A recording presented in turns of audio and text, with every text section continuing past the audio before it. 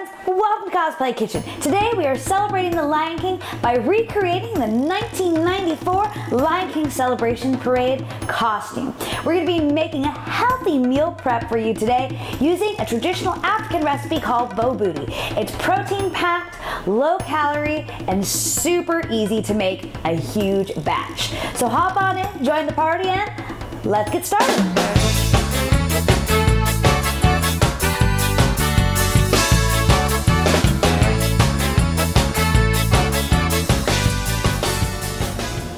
Gonna start out with a hot cast iron skillet.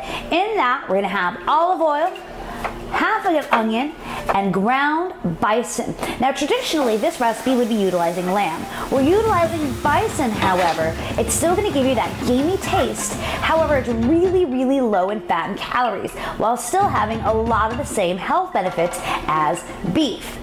Once that starts to get just a little brown, then we're gonna go ahead and add in our cinnamon, and our curry. We're gonna get that all nice and mixed together until it's almost fully cooked. Then we're gonna go and deglaze the pan. If you're not familiar with what that means, that's when you have a very hot pan and you add in the liquid and all of those wonderful brown bits on the bottom are then lifted up and brought into the recipe. So we're gonna deglaze it with some rice wine vinegar. We're gonna go ahead and turn our heat off. And then to that, we're gonna add sliced uncooked almonds, add a little bit of texture, a little bit more protein.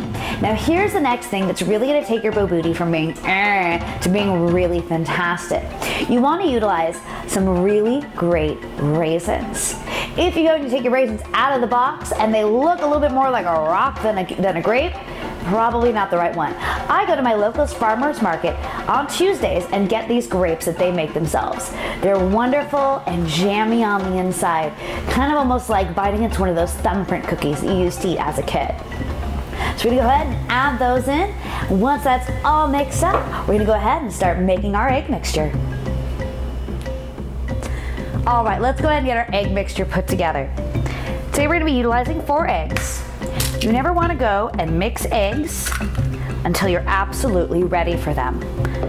If you mix eggs too early, it causes them to denature and the texture won't be nearly as nice. To that, we're going to be adding in our breadcrumbs, some non-fat or low-fat milk. Now, to what I understand, Bobootie is usually done with a higher milk fat content.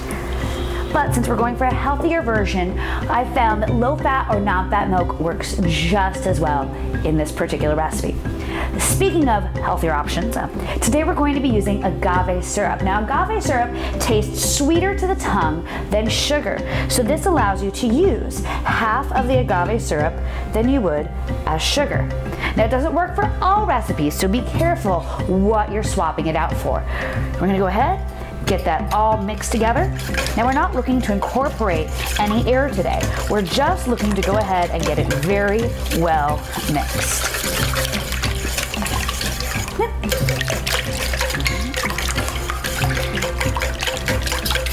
Here we go. Just like that. Now we're gonna go ahead and go back to the stove and we're going to grab on to our meat mixture because that's fun phrase to say. And we're gonna go ahead and get it dumped back into our egg mixture. We're gonna go ahead and get this all mixed up together. Now once it's mixed up, we're gonna put it in either a 9 by 9 or an 8 by 8 pan. Put in a 325 degree oven for approximately 40 to 55 minutes. How to know it's done? pierce it with a sharp knife. If it comes out clean, it's ready to go. Now, if you have a big family, you're a big eater, have friends coming over, or just want a really great meal prep, you can double this recipe, put it in a 9 by 13 pan.